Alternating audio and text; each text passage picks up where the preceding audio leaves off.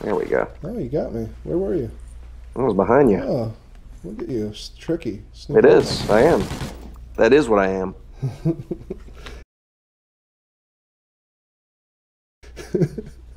What How did we get into this? How, I don't understand what happened. How do we end up in this? We're just like fighting each other. Are you in here? I'm in here by myself now. No, you're not. All right. Wait. Where are you? What- There's no one else in here. It, it tell it's telling me I'm spectating. Well, yeah, hit start. It's right, just going to be the two of us. Oh, you're on the opposite team. I guess we'll just kill each other. All right, let's just kill each other then. Hey guys, welcome to another episode of uh, Games and Guns. I'm Stephen Gutowski. I'm here today with, with Ben Howe of Mr. Smith Media and Red State and many other wonderful things. Hi, Ben. Hey, how you doing? Good. We can't figure out how to. Hey, You're dead, by the way. dude, Dead. dude. it's going to be a lot of that, I feel like. Somehow we've ended up in a match just against each other. Xbox won't cooperate. So this we're just going to be killing each other this entire That's. time. Uh, I think that's great though. Just one-on-one death match. I think that's awesome. And Ben has never played this game before. And I've never played this game before. And it So- took 45 minutes to install a game that I had a disc for. Xbox One is wonderful. Uh, I love it. Uh, You know, I haven't gotten seen- that sense from you. yeah, it's it flows out of me my love for for this system. If you guys want to see the whole my whole uh, love letter to to this beautiful new next gen system, just go watch the last episode of Games and Guns. I actually do like Xbox One. I do. Well, it I won't let us play against other people, so I think it's neato. your love child is a piece of crap. I can't I can't find you either. So It's just, the whole episode is just going to be us running around That's all right. We'll, we'll, we'll-. I shot a tree though. Oh, Oh. there you are. oh, there. Okay, yeah.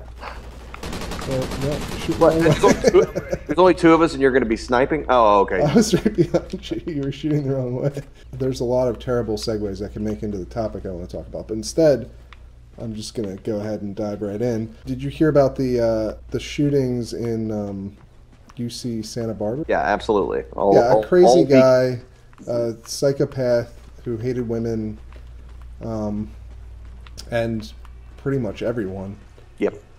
Uh, went on a Anybody who he perceived to have a better life than him. Yeah, pretty much. It was uh, he hated women who didn't, who rejected him. He hated men who were, Got the had- women that rejected him. got women, but also who were like richer than he was and more successful. Uh, he, yeah, he pretty much just hated everybody. He was just kind of a psycho. And what's weird is he sounded like such a, a, a fun guy to hang out with. Yeah. Oh, hey, there you are. Oh, sweet. Let's see if let's see if I can possibly never kill you in this game. That's probably a really good uh, possibility. But uh, as hard as it is to talk about a serious issue like that while playing um, a video game like this, uh, let's try to do it anyway, I guess. Okay. Yeah, but basically, so this guy went crazy, or he was always crazy, but he finally like flew off the handle He's, and he snapped enough to do something about it. yeah, I mean he he had done like crazy things to people he didn't like before. One time he got like a super soaker and filled it with orange juice and sprayed a bunch of people because they were they looked too happy. So the guy was insane. Um, And his And parents knew it, and they tried to get. and his parents knew, and they tried to help. The, or they tried to get. The, they talked to the police. They got him uh, therapy. Yep. Uh, For some reason, he was still able to buy a, a, a gun, several guns actually. Which is an interesting point, in my opinion, bizarre. because you know whenever these kinds of things happen, um, what the gun opponents do is they they point out where these lack of gun laws created the issue, and then and and they you know whether it's because that person had high capacity magazines uh, or if it was a state where he it was easier to get a gun. But this is California where he couldn't have high capacity magazines, and they have strict background checks, and it still failed because uh, the issue, as is always the issue, is that people who want to shoot lots of people to death are just going to do that. You know, I mean, that's that that's what they're going to do. And our best course of action to prevent it is to be in a position to be able to defend ourselves, not to pretend that uh, creating any kinds of laws are going to dissuade the murderer from doing what he wants to do. He uh, got the guns legally in spite of background checks that were supposed to be stopgaps. Right. Uh, he wasn't he fell through the cracks in terms of being reported to the police because he was appropriately reported to the police. So Right. all of the fail safes that liberals believe will stop violence like this, even ammunition, he had 400 rounds of ammunition in his car. Uh, you know, the there there have been mass murderers that have killed uh, as many people as he did and were armed with uh, AK-47s or or uh, other high capacity other high capacity rifles and uh, only killed as many people as he did. You know, so Right. the, the the type of gun, whatever, it doesn't matter. If it's deadly, it can kill people. It's pretty simple. The facts of this case are important given the two groups of people that are trying to exploit it. Um, which one is gun control people, like you talked about, because they try to exploit every uh, shooting, every tragedy. There's always a gun control aspect. Uh, like Blumenthal, Democratic uh, Democrat senator from Massachusetts, right? He's from Massachusetts. right? He said that it was proof. What? You have a need- dog now? What? yeah, I have a dog. I got a dog. Hey, buddy. Hi, dog. Cute. It's a cute dog. He's gonna, probably gonna kill you a lot though. Yeah, it seems that way. Hey, dog. Find Ben. Go. Go find him. Good. boy. I don't. I, I don't think those verbal commands work at all. Yeah. Hey, dog. Oh, you killed me once. And then your you dog. got me once. Your then dog, the killed me. killed that you. Did that count as a post-mortem kill for you? It did. The dog got you. Hey, dog. Good job. Good doggy. So the gun control people want to exploit it, like they do for every situation like this, and then also feminists, radical feminists, want Ah. to exploit it as well. Yeah, th- I, I, I don't even understand how they can. th- There's a protest right now. I saw this tweeted today that there was a protest going on to protest the misogynist murders.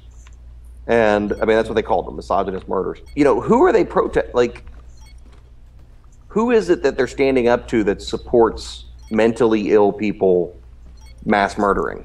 Uh, You know, like usually when you're protesting, men apparently. Right. Usually, when you're protesting, you're protesting against somebody who holds a position that's different than yours. I would assume we're all on the same page about this one, but they really want to make it about the words he used. And um, I said this to someone else. That that's like saying that that Son of Sam murders uh, really mean we need to look into talking dogs more. You know, because that's what he was doing. He he he claimed that the dog made him do everything. Uh, because crazy people say things about their motivations, but their motivations don't matter. They're crazy, and that's the point. Is that their motivations don't matter? His just sounded close enough to um, what the feminists love to talk about that they latched onto it. I right. mean, well, but I think that goes back to my point about this being the facts of this case mattering a lot because uh, gun control people want to use it, and so do radical feminists. Gun control people want to say that gun control would have stopped. You know, the Blumenthal said that the um, the background check bill that was debated uh, a couple months back would have stopped the shooting. Um, and then radical feminists said that the shooting was all about misogyny because you know he hated women and so forth but the facts of the case are that this guy killed four men with a knife ran three over men. another I thought it was one three men. Three men. three men with a knife ran over another one and then used a gun to kill two women so Mm-hmm. Yeah, he used. They a just wanna ignore that part of it. They, yeah, and and I think that it's important for people to know what what actually happened and that, that this isn't like some it's not some sort of uh, just like any shooting it's not some sort of plug and play you know moral story right. about gun control because like you mentioned before everything that was in that um, the background check uh, on private sales bill and and you know the assault weapons ban and and the magazine limitations, all the stuff that liberals want, gun control people want on the national scale, they're already implemented in California, which is where this guy, um, you know, where, where this shooting happened, where he was able to get his gun. There's two ways the liberals will approach this. The gun control advocates would approach this. They'd either say it's evidence that the laws aren't strict enough, or they're going to say, imagine how many more people he could have killed if blank. Like that, that that's usually their their modus operandi when it comes to gun laws having failed in a in a city or a state where gun control is already a, a part of the system. Right. But that's very convenient and very selective memory because in Chicago, it doesn't work that way, and their gun control laws are very strict there, as are the gun control laws in Washington D.C. And neither of these places are known for being uh, immune to gun murder. Oh, of course. Yeah, and I just think that I think what's more likely is that uh, they'll do what they often do, which is just ignore the facts Yeah. of what happened and just say we need we need background checks on private sales, we need magazine limitations, we need I'll say, you know, uh, assault from, weapons bans. Well, we have California has all that, every single one of those things. From what I did not heard, prevent this guy from shooting two people. And even if he hadn't had any guns, I mean, he still killed several people with a knife. And it wasn't just about him hating women because he killed uh, three men, killed more men than he killed women. So it's just all the, it- it the stupid about- political yeah. narratives that have come out of the case are, are just ridiculous. They're just nonsense. They just have no, no basis in reality. He was a grade A nut. yeah, he just he, uh, absolutely. even more obnoxious than the the radical feminist arguments or the the gun control people because you expect that pretty much any time. Well, this is the first. like this happens. Watching them turn it into the misogynist attack. Uh, I mean, that that one's new on me. Them them, them latching on to the. Uh, I, I guess yeah. I was a little. ta I I didn't expect that. Yeah, I mean, to, yeah, well, th- that was, but because of what he had said and what he'd uh, written, you know, that's pretty clearly going to happen because he, he hated women, so he killed some. He also hated lots of people, and he killed a bunch of men too. People who talk about teaching men not to rape and things like that, uh, and you know, Right, right. misogyny. Uh, that, they're going to the, the key is not. And every show I go on, by the way, uh, there's a high usage of the word rape. I just realized, which just happened because I said it like eight times in a row, and Yeah. I I could hear myself saying it. Well, it's because you know I said rape a lot just then. because you're uh, you're taught that rape is good. Well, that's- yeah. by society. That's why. I'm a I'm a male, and rape is is uh you know our thing. Yeah, yeah. Every all men agree that rape is is appropriate and good. So Speaking of rape, what about these Xbox Live fees? I, right, but uh, um, no, the one the one thing that came out of it that really bothered me, I, I thought that that I really didn't expect at all was this sort of weird um, idea that I guess it's part of the rape uh, or you know teach men not to rape thing but it's sort of the idea that because he was a, a lonely nerd that that's why he It's the bully meme.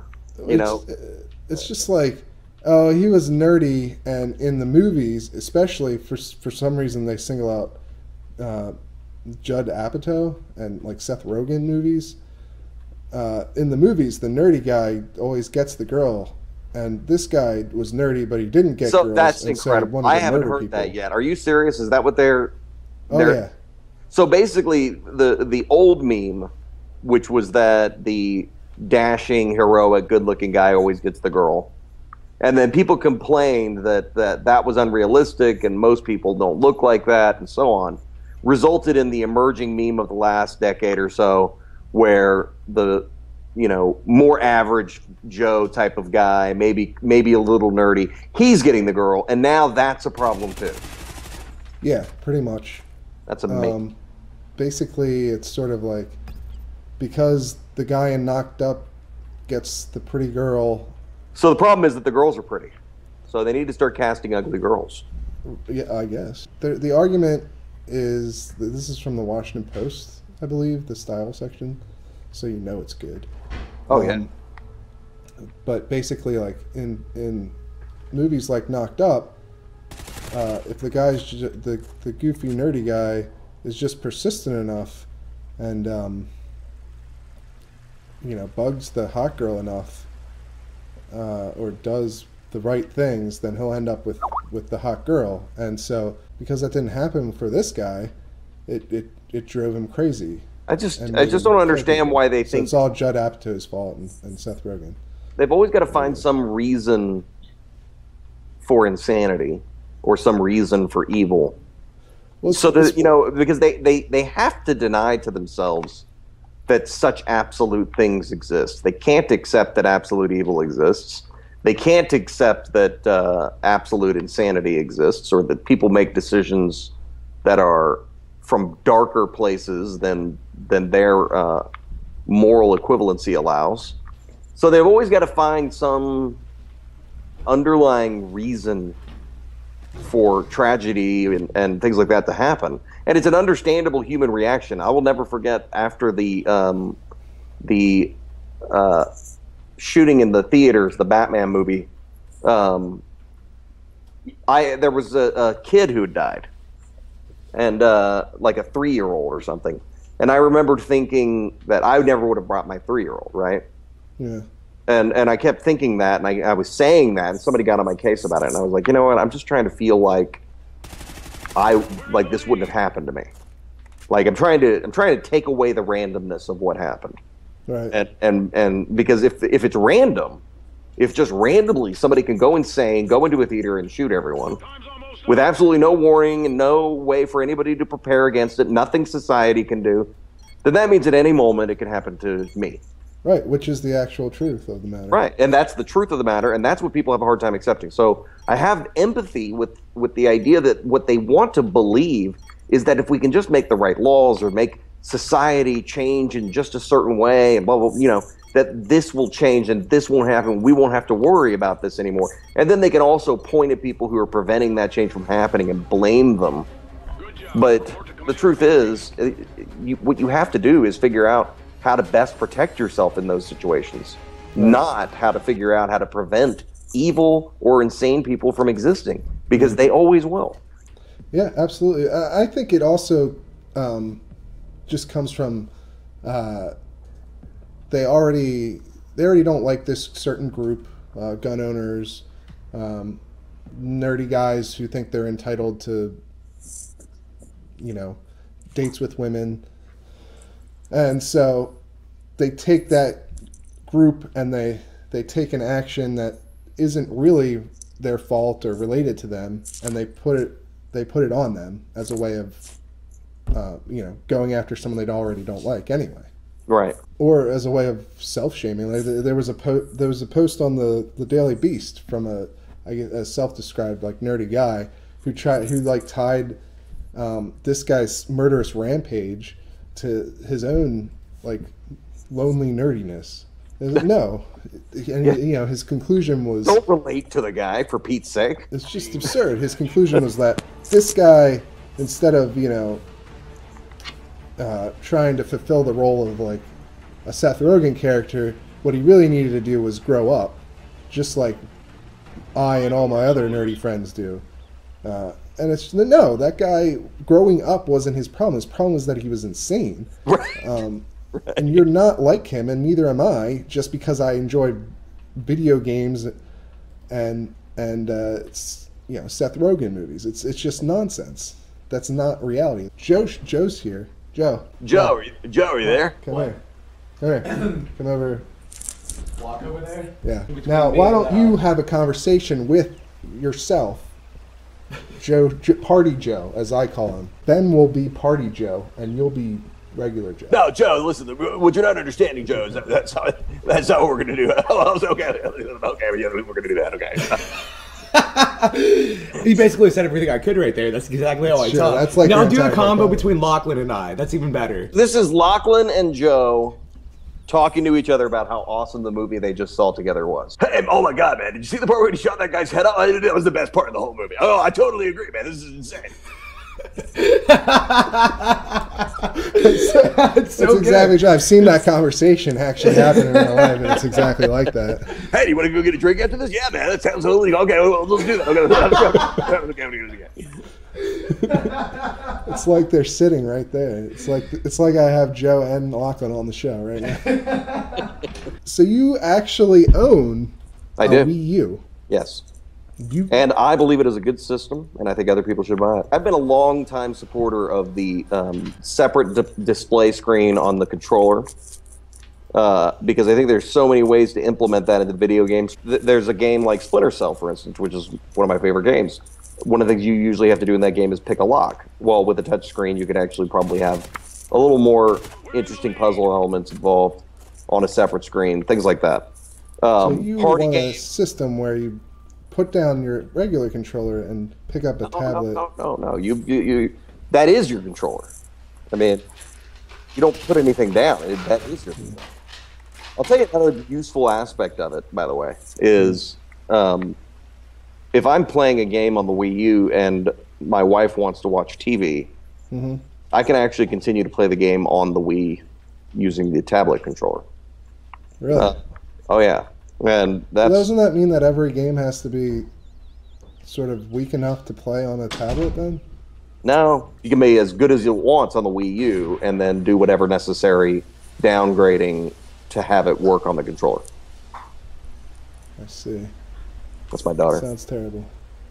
No, yes, that awesome. that's. I think that's an important point. Uh, that you have children.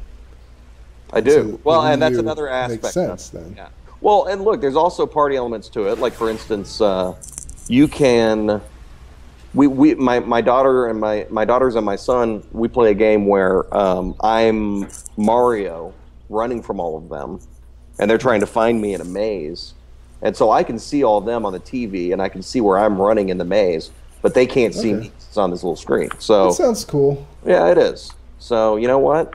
It's better. Look, you, you've been saying that you're unhappy with the entire uh, uh, realm of uh, video games, and here's the Wii U over here innovating like crazy, and you're totally ignoring it. I don't think that motion game, gaming combined with uh, tablet Motion gaming is really No, no, motion gaming is kind of dead. I mean, that's not really a big aspect of it. well. that's good. That's good news at least. Let me ask you this one last question here. Yeah. Do you also own a Virtual Boy? You're just sitting there playing the Wii U and the Virtual No. Boy all day long, and you're like, "To hell with you, society! Yeah. I've got a game. I'm happy." I've got a Game Gear as well. Game Gear was awesome. Right? It was. No I have- trash in the Game Gear. Or the Lynx. How about the Lynx? I have the Lynx or the Neo Geo. Neo Geo. Wow, that's before my time, but all right. Well, Oh, Virtual Boy isn't. Uh, it is, but it's so bad that everyone still remembers how terrible it is. Even It's me. like it's like ET. yeah, it's like ET. It should be buried in a pit in New, in New Mexico. So- You know, I actually played that game a lot. ET.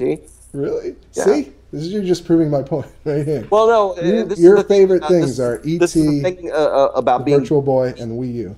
being poor and not entitled that people today don't get. Hmm. I hated the game. You just It- played it anyway. It was just the only game we had. so, what was I going to do if I wanted to play a game? I had to play the game where I'm stretching ET's floating neck to get out of a pit. You know, that, that was those were my choices. Uh, fair enough. Well, that's that's my. I'm going to leave the the show with that as my life lesson. Never be above stretching ET's neck to get out of a pit. Those are words to live by. Yes, yes. Thank you for coming on, Ben. I appreciate the time, and uh, I actually killed you a few times. So I want to. did. That, It was Want weird. that noted. It was very fun to just play two of us by ourselves in a giant map, running around 20 minutes trying to find each other.